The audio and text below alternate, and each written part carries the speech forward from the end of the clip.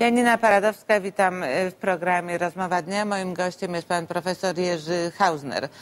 Y, Dzień dobry panie profesorze. wieczór. Tutaj z moimi poprzednimi gośćmi próbowałam wymienić wszystkie y, nazwy wszystkich stanowisk, jakie pan piastował. Tak no, przy pomocy Leszka Millera częściowo się udało. Wicepremier, minister pracy, minister gospodarki, minister nie wiem, polityki socjalnej, tylko teraz zdrowia.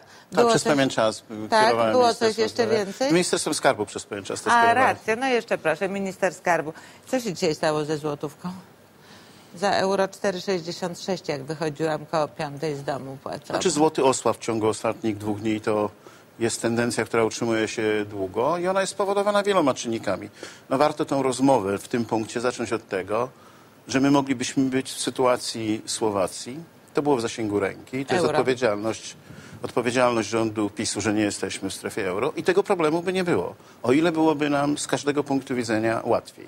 A teraz borykamy się z problemem, który po części jest spowodowany tym, że jesteśmy w koszyku z takimi walutami, e, które słabną dlatego, że są wpisane do koszyku. My jesteśmy na przykład w koszyku z Kazachstanem i nie ma żadnego związku to, jak traktowany jest nasz, przez część rynku, jak traktowana jest nasza waluta w relacji do tego, jak wygląda gospodarka, bo gospodarka wygląda lepiej niż nasz złoty. Po części jest to atak e, spekulacyjny wynikający... Bo rzeczywiście pojawiły się tytuły, a ja tak słabo wierzyłam w atak spekulacyjny. Pan uważa, że to jest atak spekulacyjny? To jest bardzo poważny problem. To znaczy, w tej chwili trudno jest do końca oszacować, ile pieniędzy zostanie wydrenowanych z polskiego rynku w wyniku zakupu przez przedsiębiorstwa w bankach opcji walutowych.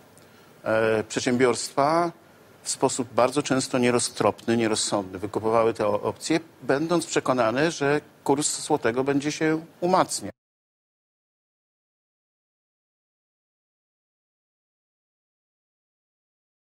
bardzo wysoką premię. E, Ta premia może być taka, że suma summarum zamiast 5 miliardów e, złotych z przedsiębiorstw polskich może być wyprowadzonych w skrajnym przypadku nawet 20 miliardów złotych. Tym im bardziej złoty osłabnie, tym będą gracze rynkowi, którzy na A tym to nie zarobią. jest kres te y, słabnięcia złotego, jak pan przewiduje? Dzisiaj rozmawiałem e, z Mirkiem Gronickim, który jest e, w moim ocenie jednym z najbardziej kompetentnych ludzi w tym zakresie. No i pytanie, które każdy sobie postawił my w tej rozmowie, kiedy dojdziemy... Przypomnijmy, minister finansów Finansów. w rządzie Marka Belki. Człowiek niezwykle kompetentny i dobrze I znający zostawił rynki. rządowi PiSu 5 miliardów chyba, tak? To No tak. Grabicki zdaje się zostawił Tak, te no to 5 zostawił miliardów znaczącą- na zmarnowanie. No, w każdym razie na prowadzenie rozsądnej polityki. To się okazało o tyle nierozsądnym krokiem, że trzeba było najprawdopodobniej zmniejszyć zadłużenie i zachować się na tej, na tej zasadzie wykorzystamy Tak. wszystko. Ale w takiej, co z tej rozmowy wynika? No, z, y, panem obydwaj zastanawialiśmy się, kiedy dojdziemy do 5 zł i co to będzie znaczyć. A dojdziemy do 5 złotych? Yy, no, nie byłbym pewien, bo tu pewności nie ma. Natomiast, Za no, euro mówimy Tak, 5 oczywiście, złotych za euro. Tak. Yy, Natomiast no, wiele na to wskazuje, że możemy się bardzo szybko zbliżać do tej granicy, co będzie sytuowało nas zupełnie w innej sferze rozważań. Tak? Trzeba pamiętać, że jeżeli złoty słabnie, to polski dług, wartość polskiego długu rośnie i koszty obsługi długu będą bardzo gwałtownie rosły. I to jest efekt kuli śniegowej. To jest ta sama sytuacja, która pojawi się w przypadku osób, które brały kredyty hipoteczne, czy w ogóle kredyty w walucie obcej, przede wszystkim w frankach szwajcarskich. Dzisiaj te osoby dramatycznie patrzą, że ich zobowiązania i wartość kredytu w złotówkach, w złotówce i wartość obsługi tego kredytu rośnie. To samo będzie z budżetem e, Powiedział pan, państwa. że jeżeli by doszło do 5 złotych, to znajdziemy się w innej rzeczywistości, że tak W powiem. innej tak? strefie rozważań w innej ekonomicznych. s- strefie rozważań ekonomicznych. I co to będzie znaczyło? Co to będzie znaczyło dla rządu? No to będzie wiem, oznaczało, bo że minister y, Rostowski mówił niedawno, że musimy y, sprzedać obligacji za 155 milionów. czy coś takiego. to znaczy, że będziemy musieli znacznie więcej, Więcej. pieniędzy po gorszych, na gorszych warunkach pożyczać. Ja nie wątpię w to, że w Polsce e, państwo i władza publiczna jest na tyle stabilna i wiarygodna, że będą tacy, którzy nam pieniądze będą pożyczali. Nie, nie sądzę, by istniał rzeczywisty problem braku możliwości zadłużania się, ale oczywiście trzeba pamiętać, Ważna że jest cena. Ważna jest cena, ważny jest czas, ważne są warunki. To oznacza, że im szybciej będziemy się dalej zadłużać, tym więcej będziemy wydawali na obsługę długu, tym większym stopniu będziemy musieli ograniczać wszystkie inne wydatki, aby móc się dalej zadłużać. To jest po prostu bezsensowny, bezsensowny to jest ślepa uliczka. Nigdzie No, nie dojdziemy w Mamy w ten tej sposób. chwili taki spór, który się toczy i takie dwie drogi wskazuje się wych- wychodzenia z tej sytuacji. Opozycja, Prawo i Sprawiedliwość mówi, trzeba więcej pieniędzy wpompować w gospodarkę. W tej chwili nawet pani Gęsicka coś powiedziała, że gdzieś jakieś 33 miliardy leżą w banku centralnym i trzeba te pieniądze szybko wydać.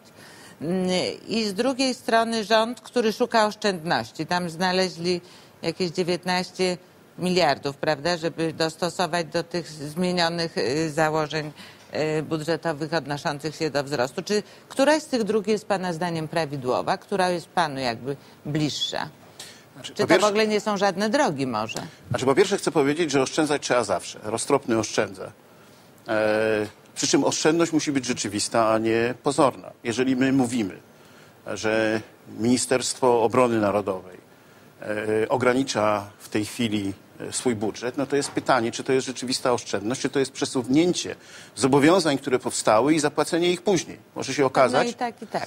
no tak, może się okazać w związku z tym, że za tymi tak zwanymi oszczędnościami kryje się sytuacja dłu- większego długu, tylko że później, tak? Że trzeba będzie wypełnić zobowiązania przesuwane w czasie, trzeba będzie. Za... Znajdują, że ta sytuacja, nie wiem, w drugiej połowie roku może się poprawić. Ale prawda? Nie jest to żadne rozwiązanie problemu, to jest tylko wyłącznie stosowanie środków przeciwbólowych.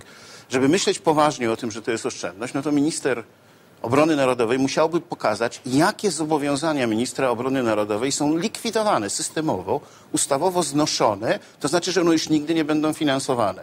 Tak długo jak nie pokaże tego, czyli pozostajemy przy tych samych zadaniach i przy tych samych zobowiązaniach, a jedynie przy mniejszym budżecie, To, to jest pozorne. To, to, to, jest pozorne. absolutnie pozorne rozwiązanie. W związku z tym od razu sygnalizuję, jeżeli mamy myśleć w ten sposób, jak proponuje minister finansów, to za każdym zmniejszoną kwotą wydatków musi iść zmiana, która pokazuje, że coś znika. Albo jakieś zadanie, albo jakieś zobowiązanie, albo jakaś instytucja.